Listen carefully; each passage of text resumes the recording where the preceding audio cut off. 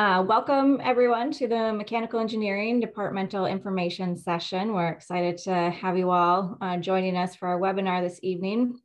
My name is Miranda Miller. I'm the undergraduate program manager in mechanical engineering. I'll give you a brief rundown of our oops, uh, agenda for the next hour or so. Uh, so our Director of Undergraduate Studies will provide a brief overview of mechanical engineering. And then we have a couple of our professors um, who will talk a little bit about their research, um, just to give you an idea of some of the research that is happening in our department currently. And then lastly, we have uh, four student panelists uh, who are all current students. And so they'll be able to talk a little bit about their experience as an ME student. So without further ado, I will kick it over to Professor Northrop, our Director of Undergraduate Studies. Hi, everybody. Thanks, Miranda. Um, yeah, today I'm going to give you guys a bit of a rundown of a mechanical engineering program and hopefully interest you in and uh, what we're doing in ME and uh, want you know get you to learn a little bit more about our program and hopefully join us. So uh, yeah, I'm going to give an overview of ME, all the interesting things that we're doing, and what it means to be a mechanical engineer. Um, and then I hope that the that the faculty um, presentations and their research and the student panel will be really informative for you guys as well. So um, yeah, so first, first off, um, I just want to give a broad overview of mechanical engineering as a discipline. So overall, mechanical engineering is probably the broadest engineering discipline. Um, it incorporates things from biomedical to things in fluid flow, heat transfer, controls, robotics, um, and really expands a huge range of competencies and um, and that's reflected in the department. Um, the faculty that we have are have wide breadth of experience and um, in training. So we really, uh, you know, to be a mechanical engineer does not constrain you really much at all. Um, you can go on to do all sorts of things, even including medical school, um, law school, other things like that after an ME degree. So really ME's design, analyze, develop, build anything that moves, right? So we're, we're um, focused on things that are dynamic. Uh, civil engineers do a lot of things that are stationary. We are focused on um, uh, areas ranging from um, machine components to fluid flow in the human body, as I say here, um, every, uh, I'll give you a kind of an overview of what it means and what we're doing in the department um, in mechanical engineering. So some, some stats here, um, we have about 475 enrolled undergraduates in our program. Um, we have a over 98% placement, job placement rate.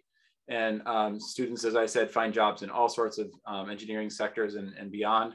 Um, the mean starting salary for our graduates is on the order of $67,000 a year. And if you look at, you know, current literature, ASME and others, um, American Society of Mechanical Engineers and others publish statistics on mean salaries for mechanical engineers in practice. Um, and, you know, the, the 93,000 figure is what I found um, for a mean uh, ME salary uh, out in industry. So um, it's a high, highly, you know, um, interdisciplinary. You can be uh, focused on design or, or other, other aspects of mechanical engineering, which I'll give you some, some overview on. Um, you've been on campus, obviously, you've seen our um, uh, building, which you can see on the right there. Uh, and you see the, the, was the Platonic figure, otherwise known as the Tin Man, um, which was commissioned in 2011, uh, 2001, sorry, when we did a part of the mechanical engineering building. So next slide, please. All right, so the top 11 employers of, of our graduates from mechanical engineering program include um, Boston Scientific, Medtronic, and St. Jude Medical. You notice that those are very similar companies uh, in terms of their what they do, medical devices. Um, and this is reflective of the very, very strong medical device industry we have in the Twin Cities. And often uh, a lot of our undergraduates are from the Twin Cities or surrounding areas and end up wanting to stay here. And this is a natural fit for them to work in these companies. But of course, we also have some local companies like 3M, Polaris, and uh, Honeywell are big employers of our, of our um, uh, graduates.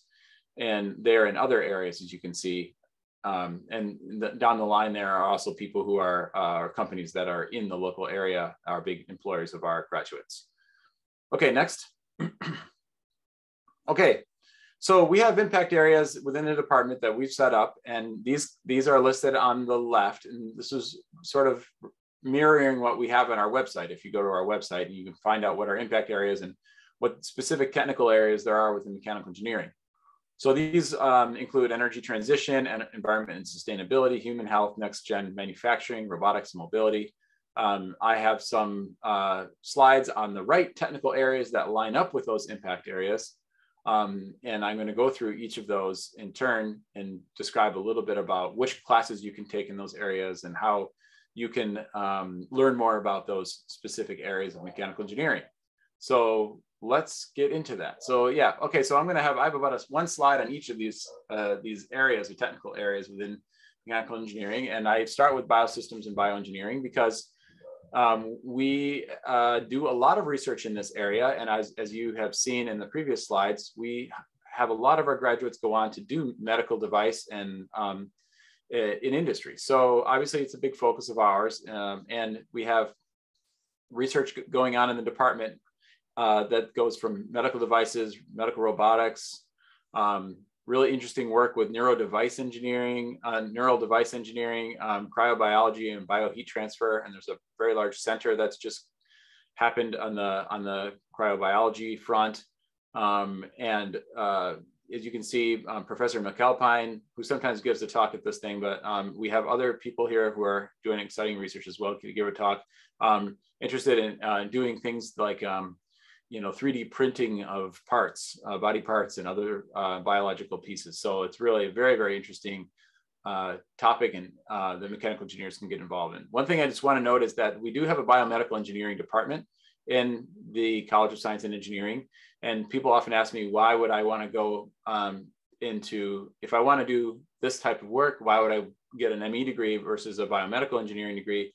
And the answer i usually give them is that we offer a much broader range of engineering experience. The, the heat transfer and, um, and design and other, other classes that we offer um, are applicable to biomedical problems and give you a broad range of um, uh, uh, experience and skills that you can apply to these, these areas. So, and hopefully our undergrads will, and our panel will be able to um, elucidate that a little bit further. So, okay, next, next slide, please. Um, here's an area that's uh, near and dear to my heart. It's an area that I'm working in currently uh, and have done um, in my in my research career and combustions and engines. Uh, the figure on the upper right is from my laboratory. That's the Thomas E. Murphy Engine Research Laboratory. That's off of Como Avenue. I do hire undergraduates into my laboratory, even starting at the freshman, uh, to do research in my laboratory, as do many other faculty in our department. If you approach them, um, it's it's often very advantageous to bring on um, uh, undergraduates into the research area uh, for internships or other experiences, even very early on in your undergraduate career. Um, things in a combustion engines include clean and efficient combustion, advanced propulsion control, uh, plasma-assisted combustion, and high-speed mixing and combustion.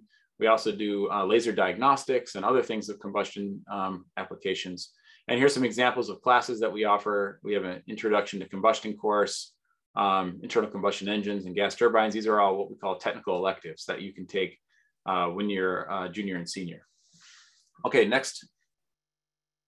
Okay, the next area uh, that I'm to talk about is fluid mechanics. Professor Shen is here to give us a little bit more detail on this. So when he gives his talk, but uh, really we have a very strong um, competency in fluid mechanics in our department. And this essentially is the, is, it means the uh, understanding the uh, fluid flow and, and, and fluids including gases and liquids. Um, SAFL is uh, the, is the Saint Anthony Falls laboratory that Professor Shen is directing. And that uh, has a huge facility for studying uh, fluid flow, including um, uh, large scale flows, uh, like the Mississippi River, for example, internal flows and engineering systems, turbulent and viscous flows. We do a lot of work with wind turbines and other things like that, which he can explain to you.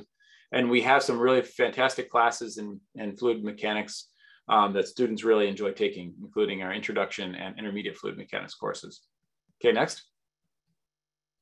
Uh, another area that we have that's somewhat unique in our department is what's called fluid power. And this is different than fluid mechanics in the sense that it mostly has to do with what you'll learn are incompressible fluids or fluids that, um, that, that, that like liquids uh, that are used to transfer power. And in this case, uh, hydraulic actuation, fluid power for machinery, um, and robotic actuation and other things like that are, are areas of research in our department. And there's a senior laboratory called Fluid Power Lab, a control laboratory that you can take uh, to learn more about this topic and, um, and, and, get involved with this area. Okay, next. Uh, materials and mechanics is an area that's uh, that is also very um, big in our department. We are developing um, materials for manufacturing, functional materials, um, and, and out of additive manufacturing and 3D printing, uh, nanoscale materials and devices. And some examples of classes include our uh, fluid, mecha- uh, I have fluid mechanics here, which is the wrong one, typo there. Um, and stress analysis, sensing, and transducers are a couple areas that we, uh, a couple classes that might be uh, useful in this area. Okay, next. Uh, particle technology is another competency of mechanical engineering at University of Minnesota, which, which is very unique to our department.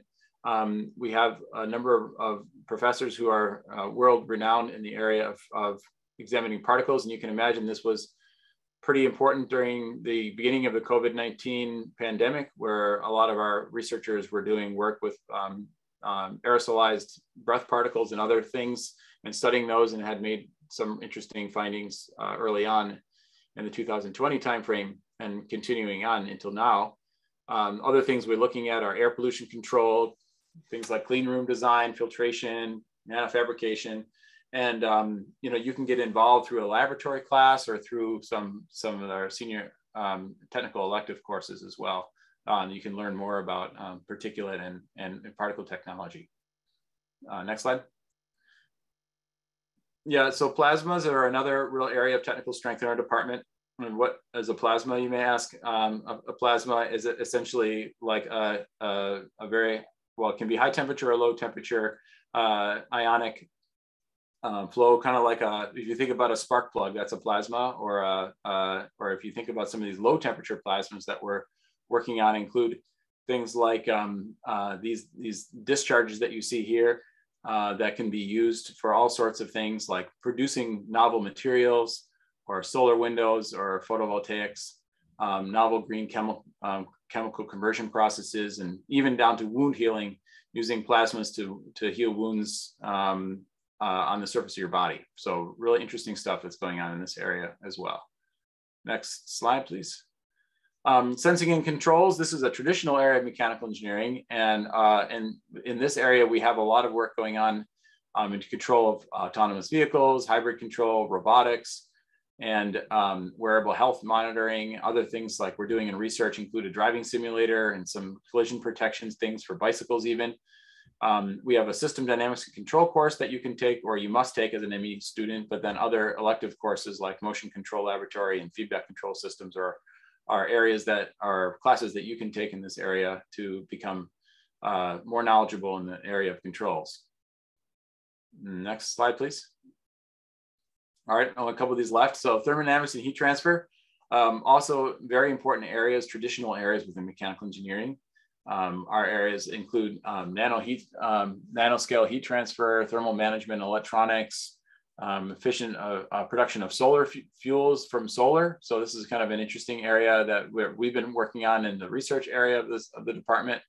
Um, you can take classes and learn more about solar thermal energy using the or through the uh, ME 5312 um, class, which is uh, about uh, solar thermal technologies and um, other classes, you know, that you can learn more about heat transfer, uh, we have a conduction course. We have other courses on um, thermal uh, environmental engineering, which is more like um, HVAC and, and learning more about um, indoor environmental um, conditioning and that, and, that, and that kind of thing. So this is another big area where mechanical engineers play a role. Okay, next slide, please. Um, yeah, so th that kind of gives an idea of of the technical areas within ME. Now, um, talking a little bit about what you can do as an ME student, there are a lot of opportunities within ME once you know, besides taking classes and and and and, um, and and and learning about these different areas. You can join student groups we have a number of really active student groups in our department. Um, we have American Society of Mechanical Engineers, which I mentioned earlier, Formula SAE, which is to build a race car. Um, Minnesota Electric Racing is pretty similar. They're building an electric race car, which is really exciting. Um, and She Is Me uh, is a, uh, or She Is ME, it's a, a play in words, is a, is a really excellent group that is uh, supporting um, engineers and women engineers, uh, but anybody can join essentially. I think um, we'll hear more about that. Um, perform research, as I mentioned, uh, faculty are very uh, excited to um, take undergraduates on into the research labs and, um, and you can do that through directed research, um, undergraduate research opportunities program or UROP is something you could start very early on in your undergraduate career. Um, and some faculty just hire undergraduates. I know I hire undergraduates into my laboratory just um, people who want to come and do work study or they want to have a job and learn more about our, our research. Um, you can also participate in our co-op program, which is now um, offered through the College of Science and Engineering. And that's a really exciting opportunity for you to be able to um, do practical training and get credit for it um, during your undergraduate um, program. And you can work at local companies or companies who are doing mechanical engineering um, around the country and and uh, receive credit for for doing that and get technical elective credit for that. Yeah, and you can also obtain, of course, um, mechanical hands-on skills through um, inter, you know work in our laboratories or machine shop and our and the Anderson labs, which I think is the next slide, right? Or next. Um, Miranda, next slide, please. Yeah, I was right. Okay, Anderson Student Labs. So you know, getting hands-on experience and really getting uh, involved in in um, and doing mechanical things is definitely uh, available for mechanical engineering students. Um, we have uh, Anderson Student Innovation Labs. We have um, uh, availability for undergrads for team projects, for class projects. Um, you know, in the, in the following list of, of things you can get involved with the 3D printers, laser cutters, hand tools, all sorts of things. Um, really machining and learning how to do um, computer um, numerical um, machinery, uh, machining using uh, mills and lathes and all that kind of stuff you can learn how to do um, within our program. Okay, next. Okay, so I'm just on time, 520, so it's good. Um, I, now I'm, I'm, going to introduce uh, one of our, well, one each of our faculty speakers. Uh, we're gonna talk a little bit about their research programs. And um, we'll let Professor Lian Shen go first. His, his camera came on here. Um, and um, Professor Shen, would you like to share your slides? Yes. Okay, excellent. So I'll, I'll let you take it from here.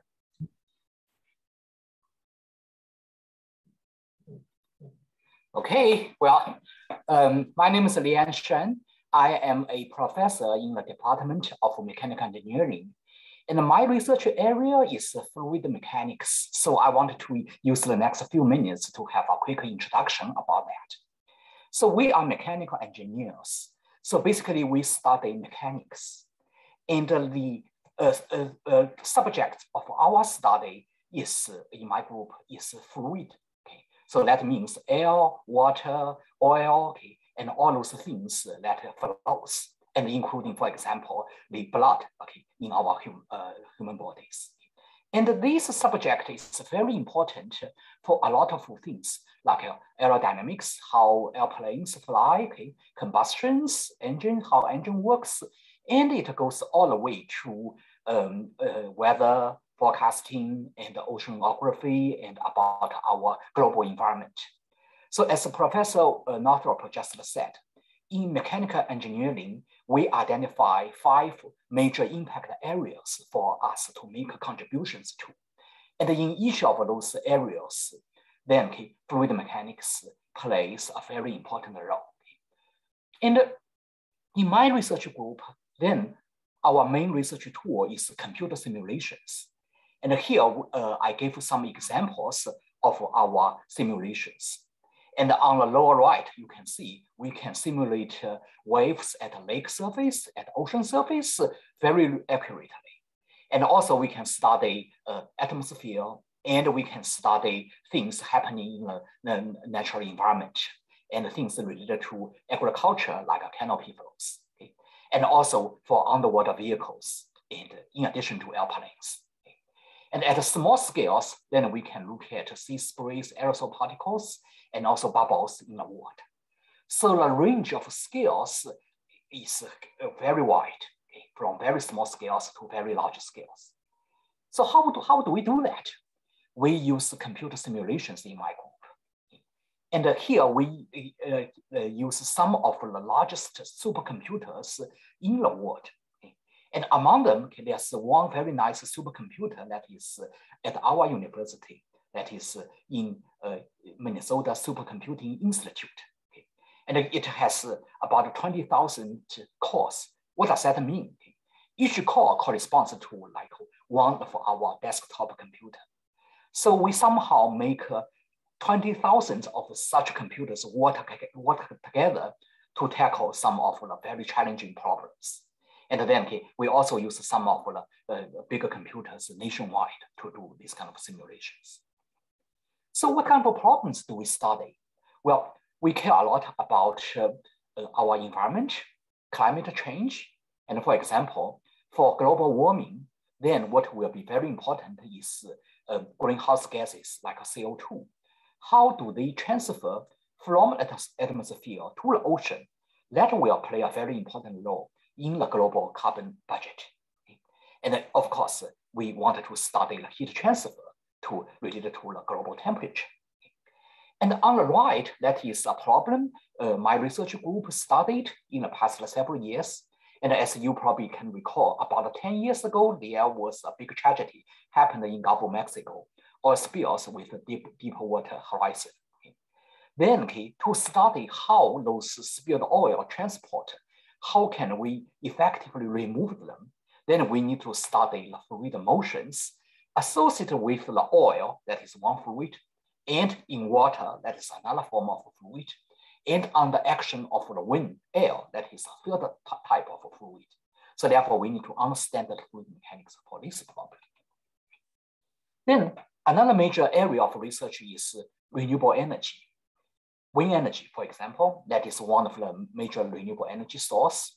And people have studied extensively the wind and uh, the energy inland, on then uh, uh, energy offshore, overseas, that will be the next frontiers. And offshore wind energy also includes potentially wind energy over Great Lakes. So how do we do that? That is a very interesting engineering problem. And on the right, I showed a few examples about wave energy. We can also harvest the wave energy from Great Lakes, from oceans. And then okay, also we look at uh, uh, fish. Okay? And although we are not biologists, actually as mechanical engineers, we realize they are much better engineers than human beings. They can swim at efficiency much, much higher than any machines we can design nowadays. Okay? So therefore, we want to study how they interact with the fluid flows, that is the water flows around them, and how we can learn that to better improve our uh, uh, design of underwater vehicles. And we, as I mentioned, my group uses computer simulations to do that. And nowadays, machine learning is, has become a very powerful research tool. So on the left, I give one example that is the simulation of wind farms. And you can see actually we have arrays of those wind turbines. And to simulate about 10 minutes of operation of wind turbine, here on supercomputers, we need two days, 48 hours to simulate that. But using the data, then using machine learning, then it can take, we can reduce the simulation times to 30 seconds. Okay? So that will be big save of time. And with the increase of computer the power, okay, now okay, we are also looking at the far front of computer simulations. For example, quantum computing. Can we increase this speed exponentially and that is one of the research questions we are considering. And although we are doing computer simulations mainly, also we collaborate very closely with the experimentalists. And they do experiment in the field. And on the left, that is the wind turbine owned by University of Minnesota. And also we go to the field to use airplanes, we use ships, and to do all kinds of measurements. And my last slide is just to show you know, what kind of experiments we are looking at in the coming years. We are looking at uh, Kennedy Space Center okay, in Florida because it has the longest uh, runway for space shuttles. And we are going to the desert.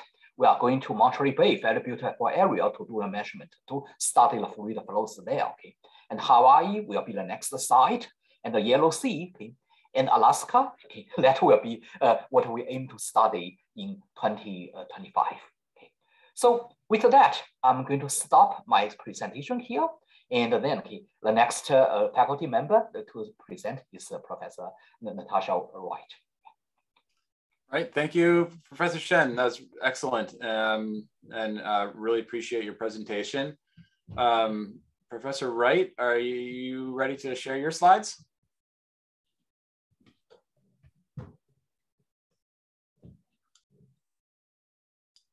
Excellent. Okay. When you're ready, take it away. You're muted right now. There we go. You'd think we'd have that down by now in Zoom time, right? So, hi everyone, Natasha Wright. I'm a new professor here in mechanical engineering, and today I'm going to talk to you about two areas of my research, desalination, which is a form of water treatment, and kidney disease, and how are these related? And the fun part about mechanical engineering is that you learn the tools to that can be applied to a bunch of different types of problems that may seem pretty disparate at the beginning. And we learn how to design systems using those tools. And my research group specifically focuses on how to design systems that use fluids, like you just talked, um, heard Lian Shen talk about, but specifically in what I call resource constrained contexts. That means I look specifically in contexts where we have socially disadvantaged or marginalized communities. These are often low in low income countries, but not always. And because of my work focuses in low income countries, um, some of them are shown in the map there on the bottom right. I often, my work is often related to what we call international development and why we look at these problems in international development. You know, why is this something new? Don't we know the answers to all these problems? Well, we actually don't. Um, these are 17 sustainable development goals that the United Nations put together related to global, cha- and all of these things are global challenges, things that we don't have solutions to. And I'm particularly interested in them because as a designer, there's really unique stakeholder dynamics, things like uh, policies, economic constraints, um, environmental constraints, local nonprofits that are at play, that as a result, affect how I design my technology. And because of those constraints, there needs to be big scientific change or scientific investigation in order to meet the needs of the community. And so there's opportunity for scientific impact as well as social impact. And so the first project I'm going to talk to you about is related to clean water.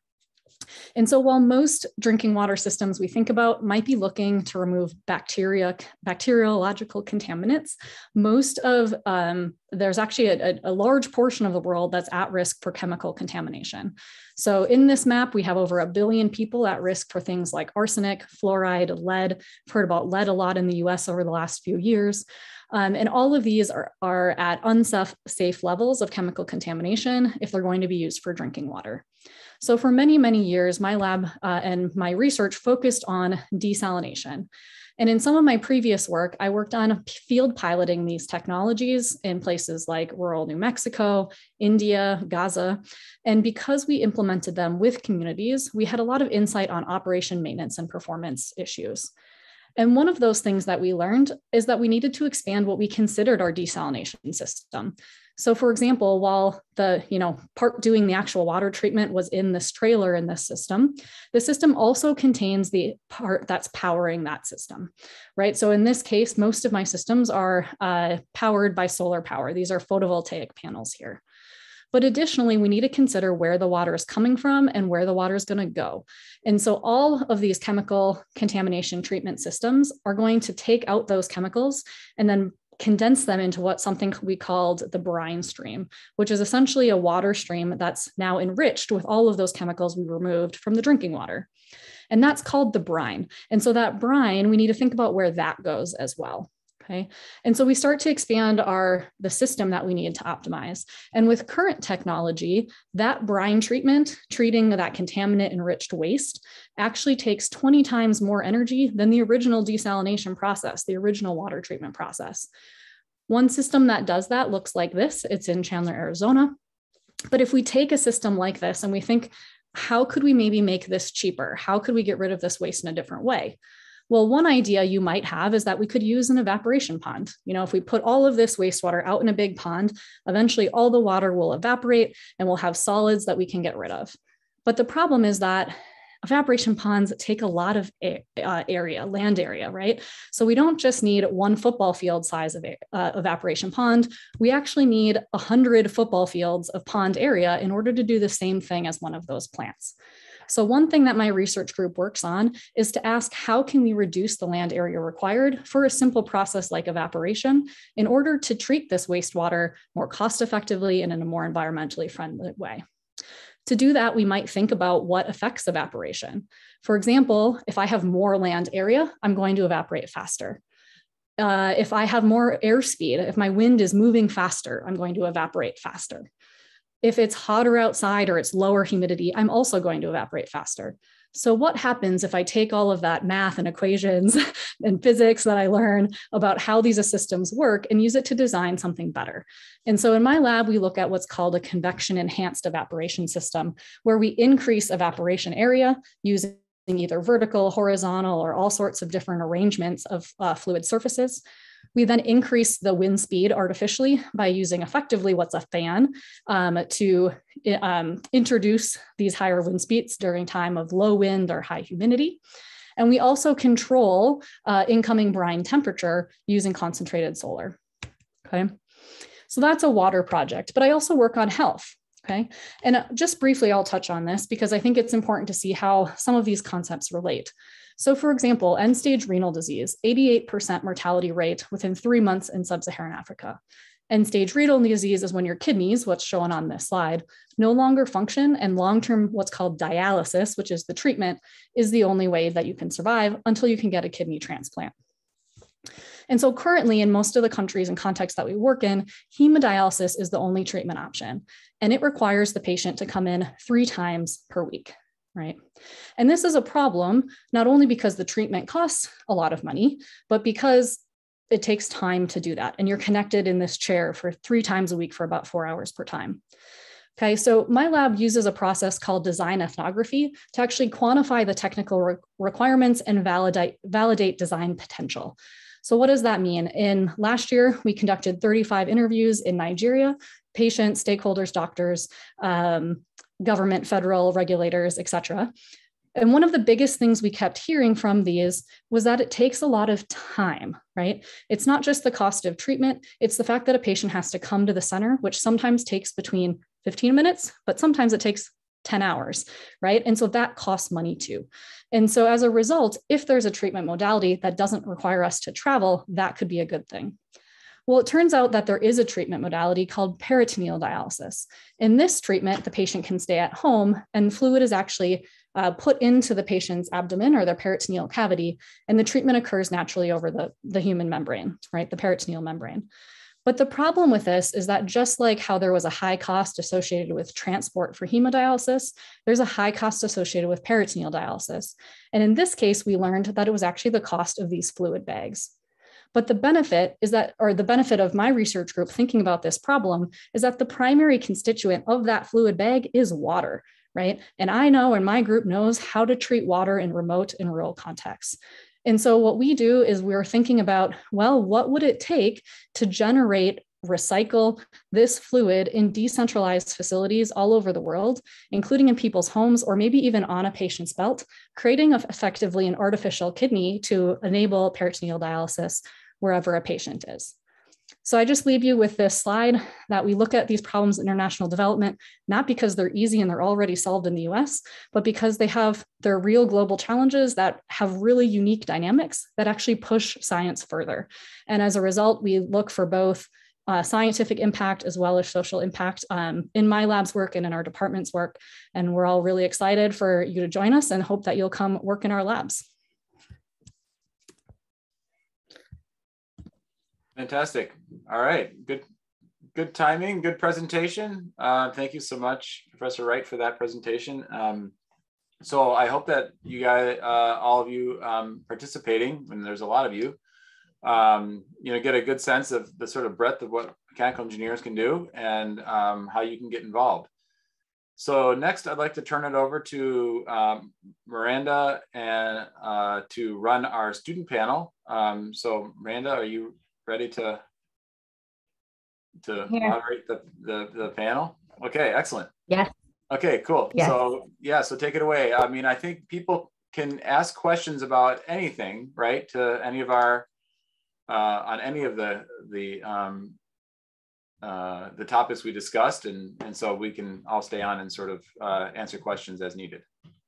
Yes, yeah. Thank you, Professor Northrop, and thank you, Professor Shen and Wright. Uh, it's really interesting to hear about all the research uh, happening in our department, and certainly that's just a, a, small glimpse of the, the research going on in ME. Um, so I would just encourage all of you to um, look at our faculty bios up on our website and learn more about uh, all the different types of research uh, happening in our department. Um, and then I received a lot of questions in the Q&A about if these slides in the presentation will be available. And the answer to that is yes. Um, so what happens after this is CSE IT folks will go in and edit it, um, do some minor edits, clean it up a little bit, um, clean up the captioning, and then um, they will be made available to the students. And you'll get an email either from CSE Student Services or from your CSE 1001 instructor when the video is available. All right, so oh, here we go. All right, so as I had mentioned earlier, we have four current student panelists, David, Nicholas, Venkat, and Maddie, who are all current ME students in our department. And so uh, I'm going to stop sharing my screen because you will get to see not just a picture of them, but you'll get to see their actual faces um, during the panel. Uh, please use the Q&A to ask questions and I will uh, be happy to field those to our panelists. Um, but I think what I'll have the panelists do is introduce themselves and then um, state what year you are in school and maybe some of the things that you've been involved in uh, and why you chose mechanical engineer engineering. So I will uh, pass it off to you, Maddie. Hi everyone, this is a really exciting time to talk about mechanical engineering.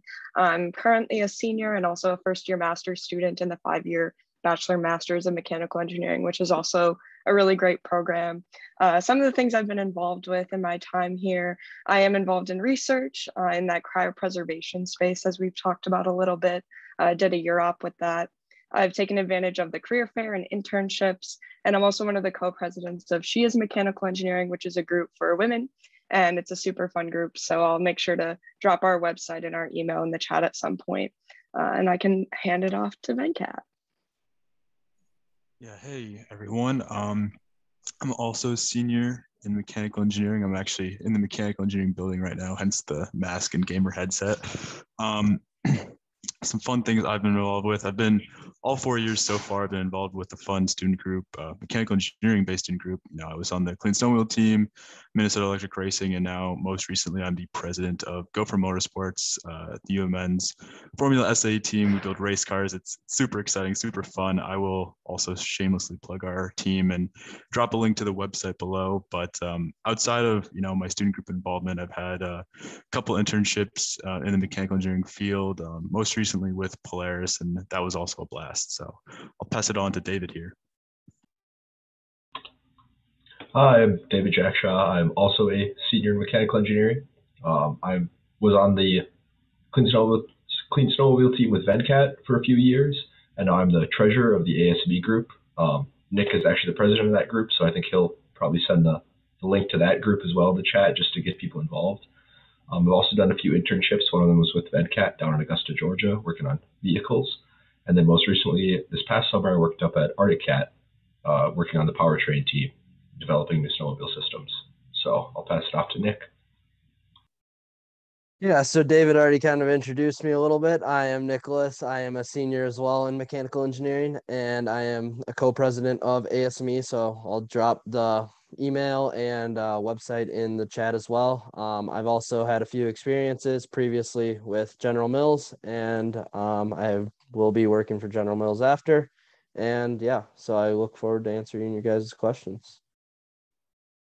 Thank you. So our first question from the audience is what inspired all of you to choose ME? I can start. I actually started as a biomedical engineering student, so I think this is always a good um, little story to tell for those in a similar boat. Um, and some good advice that I was given recently is what do you want your resume to look like in five years? So, what are you most interested in? What kind of skills do you want to be able to leverage? Uh, but back in that time, I was interested in physics and math, pretty as many of you, I guess, in CSE probably are. But when I came here, I realized that biology and chemistry weren't really my passions, although I care about helping people. And I found in this presentation was a really good example of that. But mechanical engineering has a lot of impact areas that uh, are near and dear to my heart and many people and very relevant to the world today. So I found that mechanical engineering was giving me the skills and the background for things that I was interested in. And so I decided to go with mechanical. I can move it to Venkat. Yeah, I guess uh, pretty simply, I really like cars. um, I've always loved cars ever since I was a young kid, and um, um, like Maddie, I was pretty good at math and science in high school and stuff. So I felt like mechanical engineering would be a pretty good fit, uh, even before I entered college. So always kind of had my eyes set on that, and um, you know, that's kind of what I'm doing right now. So it's been great so far. Um, I'll pass it on to David. Yeah, so for me, very similar to Maddie, I started out between biomedical engineering and mechanical engineering. But as uh, Professor Northrop noted earlier in the slides, there's lots of opportunities in the medical device industry as mechanical engineers, and it definitely opens you up to to more opportunities. I would say, um, just with the broader range of classes, and you you get a little bit more of more of things rather than focusing right away. So for me, I probably not going to be going to biomedical or me- medical devices. Um, I actually have also accepted a job, just like uh, I know Maddie and Nick have, um, working on vehicles and so so similar to Venkat with those interests.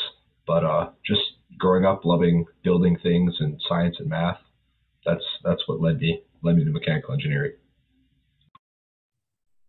Yeah, pretty similar to the other people as well. Um, I honestly had no idea if I even wanted to be an engineer, let alone a mechanical engineer. Um, I was just kind of good at math and science, honestly. So I'm like, all right, let's go into engineering. Um, and then, as Professor Northrop mentioned, um, mechanical engineering honestly has probably the most like variety you can pick out of engineering. So I didn't have much choice, and I'm like, mechanical engineering gives me the best option to kind of like pick and choose as I go along this journey. So um, it's and then later in junior and senior year, you can kind of pick classes into the specific field you want to go to. So. Thank you. Next question is about your internships uh, and what sorts of responsibilities and um, things did you do at your internships? Guess we can keep this rotation rolling. Um, I initially started with a few internships in the civil engineering field, uh, kind of with COVID 19. Unfortunately, I had a Boston Scientific internship canceled and had to pivot really quickly. Um, but those internships involved a lot of moving around and looking at manufacturing systems and looking at quality and improving things like that. And then I also worked at General Mills this past summer, and that looked like project management. It looked like working with a lot of people and operations. If you really enjoy people, there's a place for you in engineering. Uh, if you don't, there's also a place there. But my interests now are kind of leaning towards controls and robotics. So that's why I'm returning to um, General Mills, but working in the control side. So automating the machines that create food. Yeah, so uh, as David mentioned, the two internship experiences I've had, um, this past summer was Polaris, and then the summer before that was with Textron Specialized Vehicles. I think my and in both of those roles, I was kind of doing design work as a design engineer um, for mechanical engineering, and I think my biggest takeaways from those two experiences were you kind of have to learn, um, you know, when do you you know ask for help versus when do you really figure something out on your own. You know, everyone's really busy, a lot of moving parts in a company. So you have to really focus on um, knowing, you know, how can I get the job done ahead of me and but how do I also accomplish it without spinning my wheels for too long and you know not knowing where I'm going? So basically, just when to reach out and uh, how to deal with ambiguity in the workplace.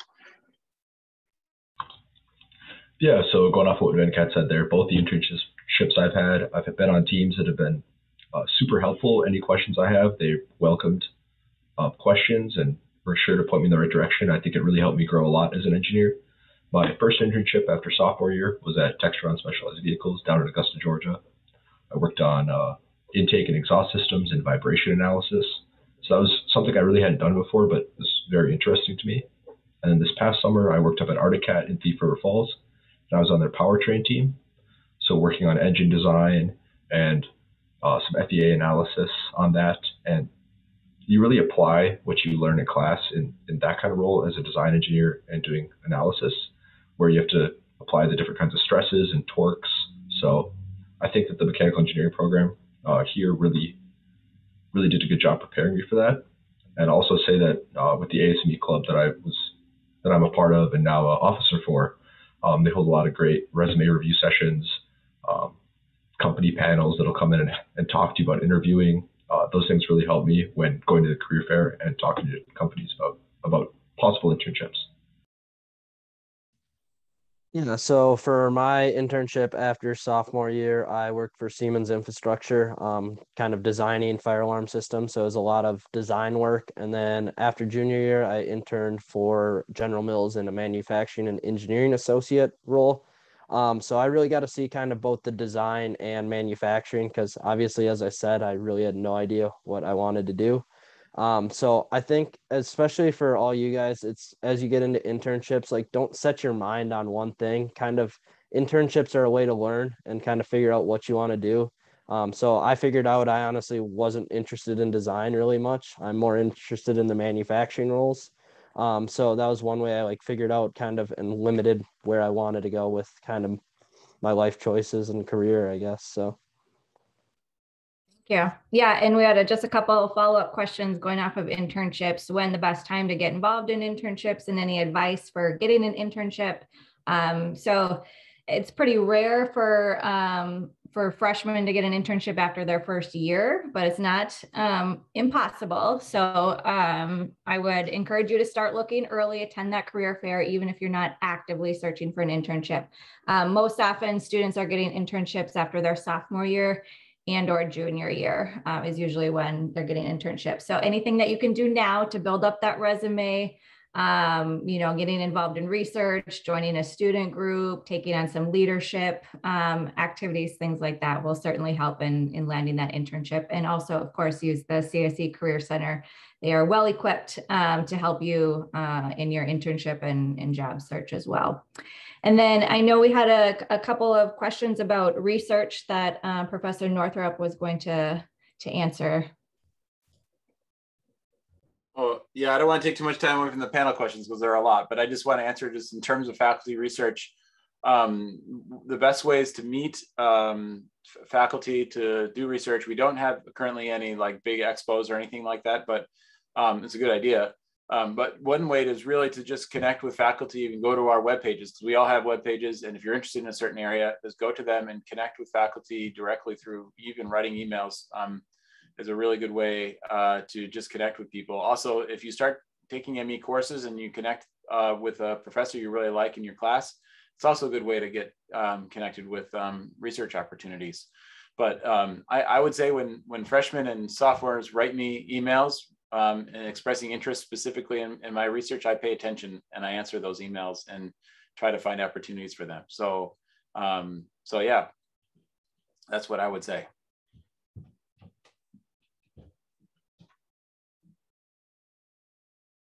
Um, Miranda, do you want me to answer the question about chemi thermo? You said. Sure. Yeah, you can answer the one about yeah, chemi and thermo. Um, uh, what is the question? I can't see it. Oh, uh, does the church studying mechanics different chemical engineering? Yes. Uh, it looks like Professor Wright is typing a, an answer to that one, but I, I, I can answer it also that um, mechanical engineers uh, study heat, uh, heat transfer more exclusively, and the heat transfer that you study in chemical engineering includes also what's called mass transfer. So that's kind of a, a, a difference. Also in chemical engineering, there's a lot more focus obviously in chemical reactions, whereas in thermodynamics and mechanical engineering, it is uh, more focused on we call classical thermodynamics, which is um, looking at heat and energy um, flows. So I'd say they're not the same. They're the same science, but not the same class. so that's that's my that's my answer. Okay. All right. So we'll shift gears a little bit and talk about classes. So two questions on that. One, what has been the most difficult class that you've taken in ME? And two, how do you balance a, a heavy course load or how do you balance uh, your course load with maybe extracurriculars and, and other things that you have going on? Most challenging course, I'd say that depends on your definition. Um, the course that I found the most strenuous was probably our measurements lab. It's called Mechanical Measurements Lab because uh, it's kind of a continuous inflow of assignments and it's kind of exactly what you're talking about, handling a lot um, at one time. So that's why that class was the most challenging for me. But there are some that are probably more like mind bending, which would maybe be kind of the thermofluids heat transfer track. Um, how do you handle it? I would say constantly reprioritizing your time, finding a schedule that works for you, using your Google Calendar, your planner, those are kind of standard things. Um, and I would also say keeping a broad oh, like think about things holistically. Don't get caught up in each individual test or each point that you lose. Uh, and think holistically about how you're understanding the material and working with your professors to do well in your classes. Uh, worst class, I'd have to say ME 2011. um, uh, that one is the one where you build a robot, and honestly, super cool class. The only thing is, is that um, depending on your skill set coming into the class, you know, if you if you have programming knowledge ahead of time, manufacturing knowledge, uh, laser cutting knowledge, anything like that, um, it'll you can really leverage that to build a better robot and stuff. I unfortunately did not, so I had to learn a lot of that on the fly and um, pick it up as I went along. So that's what made it really challenging for me. But um, I think it's still a super cool class, even if it was challenging for me. Um, especially at the very end, there's a big robot show where, uh, you know, if you've been spending late nights at Anderson Labs and kind of get to know your peers, and then seeing their finished robots at the show, and people come up with some really cool stuff um, and it's really cool to see the process beginning to end. So uh, while it is you know while it was hard and tough and challenging it was definitely very rewarding at the end. And uh, kind of following up on what maddie said i think you know google calendar is a great resource to manage your time. I personally like to write things out by hand. So i have a physical planner i write in pen I'd say um, an important thing is to keep yourself healthy and sane. So, you know, schedule time to hit the gym, talk with your friends, hang out, and uh, stay flexible with your schedule. You know, if something comes up, you know, just move some things around. Um, you know, sometimes, uh, sometimes it'll seem really overwhelming, and I totally get the feeling. But the biggest thing is just to take it one thing at a time. Yeah, I'm gonna have to agree with Maddie that uh, basic measurements lab is probably the most difficult. Um, just with the with the scope of what you're doing, it is a really cool class. You get to kind of dip your hand in a lot of different types of engineering. I would say um, you do a lot of electrical engineering with that, a lot of wiring, but then you also do some stress analysis and things like that. So while it is kind of a tricky course with how much work it is and how many assignments there are, it is pretty interesting, and you get to you get to learn a lot about engineering with it. And then just as far as managing your time, just just make sure you set aside time for to, to have some fun. Um, I'm a huge sports fan, so just going to games on the weekends, that's kind of my getaway from engineering. So like Saturdays, I'll go to all the football games or watch the football games, and it gives me something else to focus on rather than classes. So then back, so then Sunday I can just go fully into course coursework, and I'm not I'm not stressed out because I had a really fun day the day before. Um, just just things like that, and then making sure you keep track of your assignments so you don't get too overwhelmed. Um, I'm actually gonna go a different route. Um, I'm gonna go thermo and fluid mechanics were my toughest courses. Um, even though Prof- Professor Northrop was my uh, professor for that, um, it's just not my cup of tea. Really, um, doesn't really click with me. Um, I guess not my favorite courses. So that's why as I'm going into my tech electives, I'm choosing different courses. But um, you'll that's what the great thing about mechanical engineering is you get to kind of see what you want um, in life and your career, and then you get to kind of choose where to go from there. Um, but one thing I would um, recommend with dealing with hard classes and just like the hard class load is it's basically I everything's going to be hard in mechanical or not everything, but it's basically just time management. You got to pick and choose what you want to spend time on and what you want to attack now versus in a few days. So, like Maddie said, just kind of have a schedule um, and just kind of attack things as you can and don't let everything flood your brain at once. Take it one th- thing at a time. So, excellent. Thank you. Um, so we had a couple questions about like admission into the major. Um, so you may have heard about this in your CSE 1001 class. Um, so admission into the major, you need to have a certain set of courses completed or in progress before you can apply, and that differs based on the major that you're going to apply to. Usually you're going to be applying to your major in the fall of your sophomore year um, and you need to have a, a, certain tech GPA. So that would include all of your technical courses, not your lib eds or anything like that. Um, a 3.2 or higher technical GPA guarantees you admission into any major in CSE, and anything below that is based on space.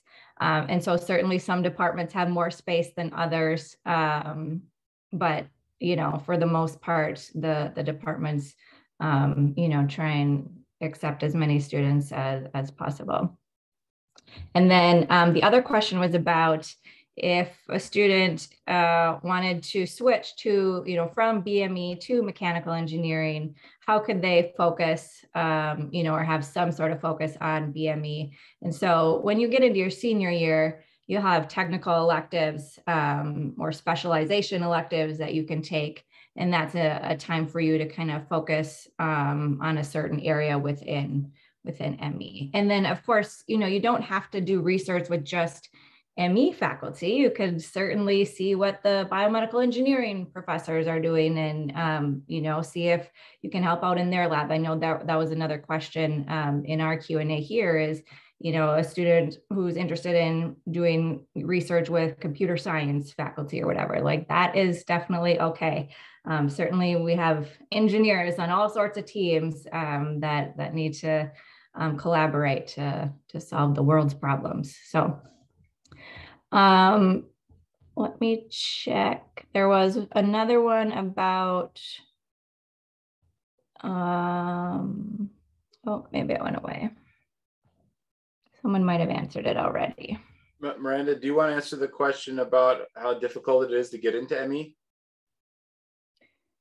Yeah, so I mean, it's like I said, a 3.2 or higher technical GPA guarantees you admission in, and anything below that is based on space. I mean, in the past, ME has had the space to accept students with a lower than 3.2 technical GPA.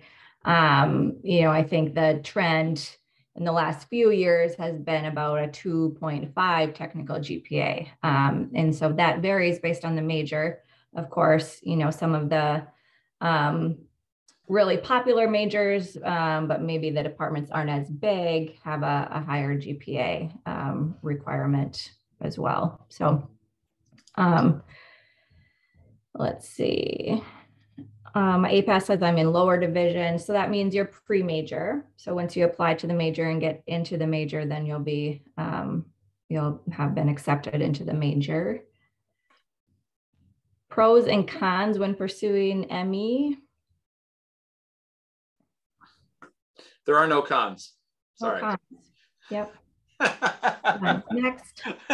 Next question. uh, yeah, I think we we think we tackled them um, for the most part. So I know there were a lot there, and we're out of time here. Um, but you know how to reach us all if you have questions. Um, I'm as you know the undergraduate program manager, always happy to field any questions from prospective students. So you can always contact me at ME Undergrad and I can probably say the same thing for, for Professor Northrop as well as the Director of Undergraduate Studies. Um, if you have other questions about ME, we're certainly happy to answer them. And if you're interested in um, getting involved in the research with Professor Shen or Wright, uh, you can certainly contact them as well. thank you for joining us. Um, it was exciting to see um, the turnout here, and we hope that this was helpful as you choose which major is the best fit for you. Miranda, one maybe important question about when they can apply for the major and if they Yeah. can apply yet this fall. Um, it depends if they have the uh, required set of courses needed for their major to apply. So usually that happens in the fall of their sophomore year um, because you need like statics and dynamics and multivariable calculus and, and whatnot. Um, you can contact your advisor directly and they'll be able to look into your situation, your coursework, and see if you're eligible to apply. All right. Thank you all to our panelists and our faculty presenters. We certainly appreciate the time um, that you have given us tonight for this event. Yes, thank you. Okay, thanks.